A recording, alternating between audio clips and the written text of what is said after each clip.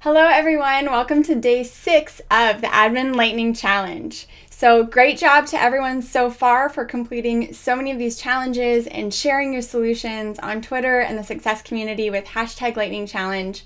If you're just getting started with us, it's not too late. Go to admin.salesforce.com slash lightning challenge and you can catch up on all of the previous challenges and still be eligible to have completed all 10 challenges by the end of our two week period, November 22nd, and get your awesome admin lightning challenge prize.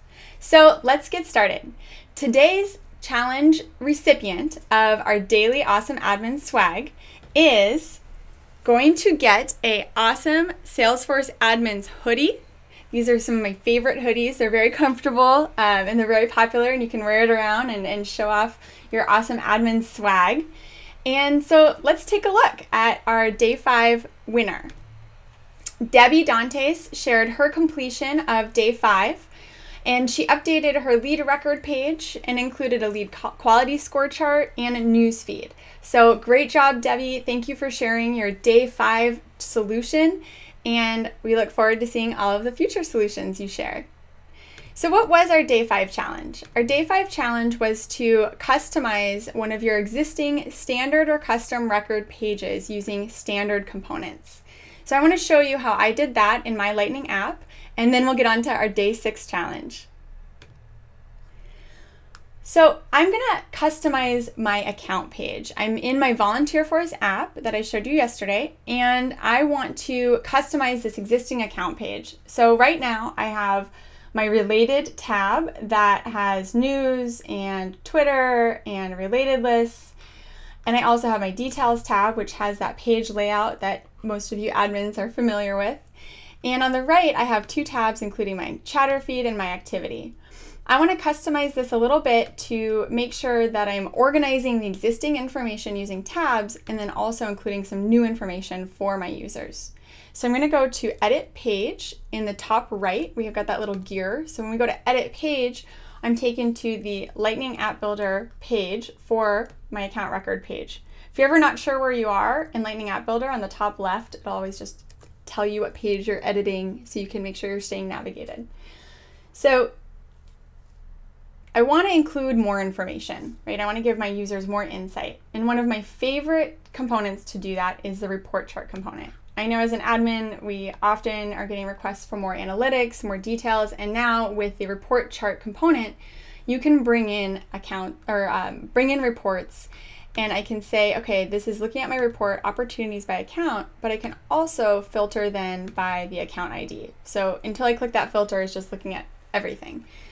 And I can also give the option to have a refresh button. Um, so when people are viewing it, they can choose to refresh the report. So that's great. But now my page is, it's kind of taken over. I've got this huge chart in the middle and then I've got news and my users really have to scroll down to get what they might really be here for, which is the related list or information that they might need really quickly, like details. So I'm going to use tabs to organize this a little bit. So I'm going to go to my tabs on the right here. I've got my default tab set to activity. I've got my activity tab and I've got my chatter tab. But I'm going to add a new tab and I'm going to call it analytics. Now, when you have tabs, we do have this set of existing standard tab names like feed, details, engagement. Um, I'm going to create a custom tab and I'm going to call it analytics.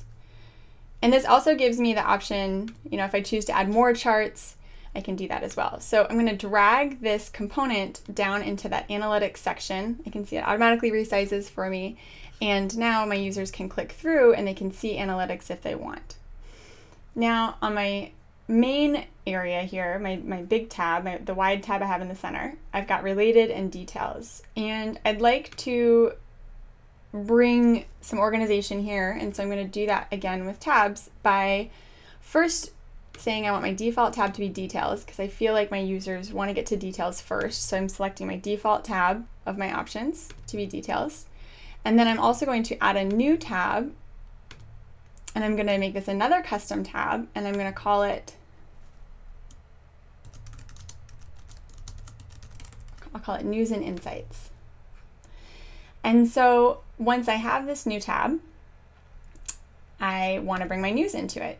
and so um, I take my news off of here. Now I could just copy and paste if I wanted, but I'm just want to show you how I can drag these over.